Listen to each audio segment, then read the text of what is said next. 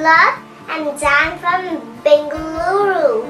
Today I'm going to say about Psalms 91. Come, let's go.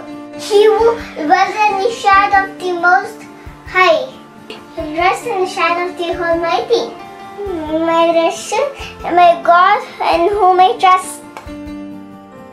Surely He saved me from His firm.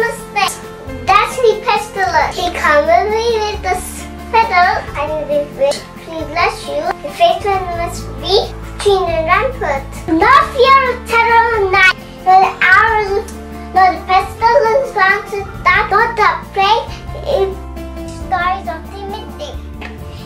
Thousand if I with my side, and ten thousand in right hand. Do not come near me.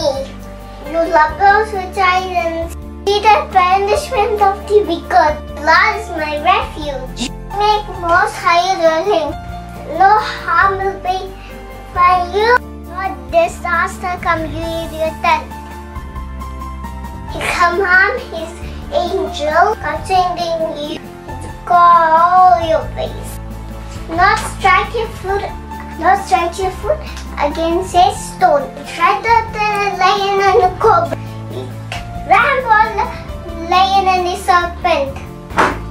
loved me, says the Lord. I rescue him and protect him and acknowledges his name. Be in the hand to him. I beat him in trouble. I deliver and honor him. Life will satisfy him and show him his salvation. Praise Lord.